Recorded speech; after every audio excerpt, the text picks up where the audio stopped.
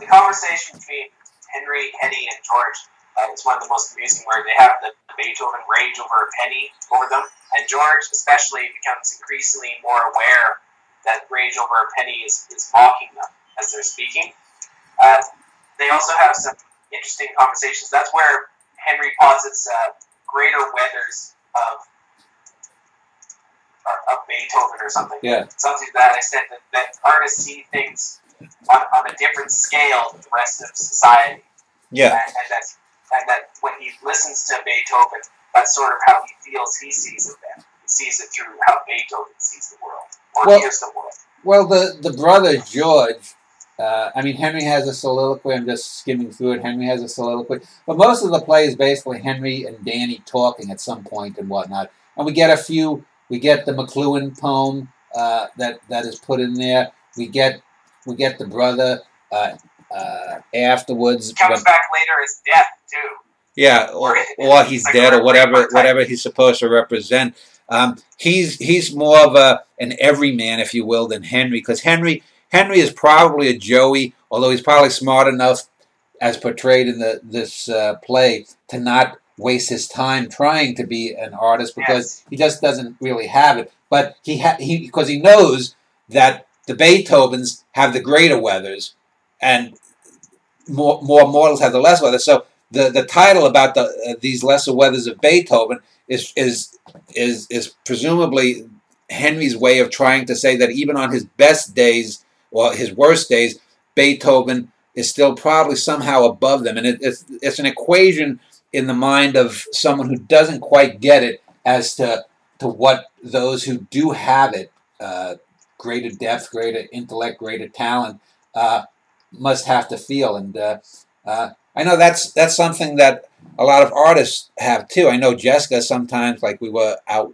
walking today, or sometimes when she's in her moods, uh, we'll she'll be asking like, you know, what do non-creative people do when they don't when they have a lot of time? They just sit around, they they watch porno, they just play video games, or they you know they just talk on the phone or text each other endlessly. They I, it's like for me, any free time I get, I'm writing or I'm talking to you or I'm doing this, that, or the other thing, uh, uh, other than the stuff I have to do, like mow the lawn or, or whatever it might be. But, uh, you know, what you have to then wonder what people who are not creative must think about the creative people. They're probably like, "Wh- why do they spend all their time doing all this? Well, that, if you want to know why a Beethoven's a Beethoven, or a Dan Schneider's a Dan Schneider, or uh, a Stanley Kubrick is a Stanley Kubrick is because they're constantly thinking about these things. These, these things have to be in their mind, uh, and so that's that's sort of I guess the the main thrust of that play.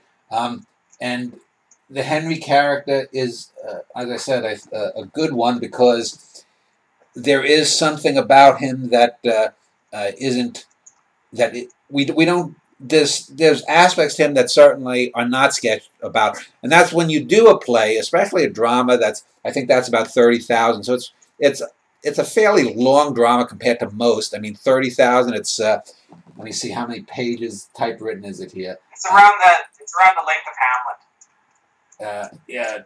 So two. Let's see here. Word count thirty-two. So it's thirty-two thousand uh, words, and it's how many pages here?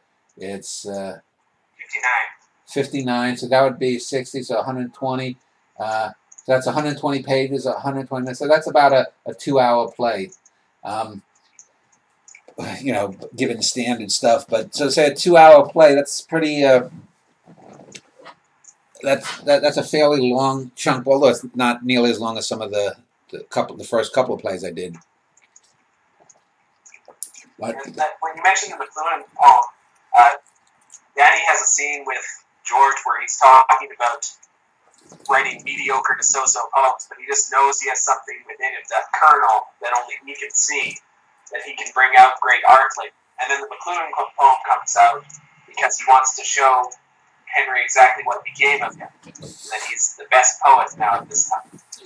Yeah, well, uh, and, and that's that's one of the things you can do. You can go back in time, back and forth in time, and I play with that in a lot of the the plays. Uh, um, uh, the Henry character, the the the putting to music with the Beethoven, that uh, I mean, th- there's a lot of things, but uh, as I've been doing some of these last few plays, I, have been trying to get away from using music all the time and, and, and do other things. So you don't want to you don't want to go back to the same thing. You want to try different things, different lighting techniques, uh, putting things in different ways, um, mixing this and that. Having uh, the, uh, a, few, a, couple of the last plays that I did had a bit more absurdist elements in them. Um, you know, the poem I did on my mother's death has this this woman that only she can see, but there's no actor playing it, but she she can see the woman in blue.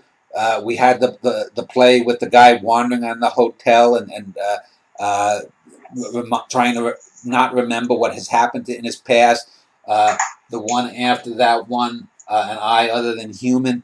Uh, I don't know if you've read that one. That has that's yes. that's the Twilight Zone one with people from my real life you know, acting uh, almost like memories within a brain, the, the, the two halves of the brain.